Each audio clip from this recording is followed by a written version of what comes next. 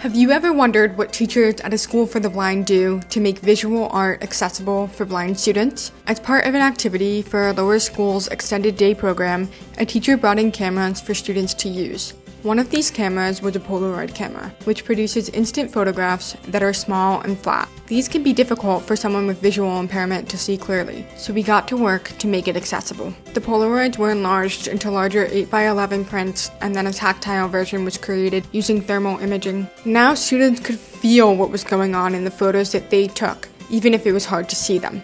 Photos included classroom bookshelves, people sitting in chairs, and someone wearing a plastic giraffe mask. This is art that's meant to be touched.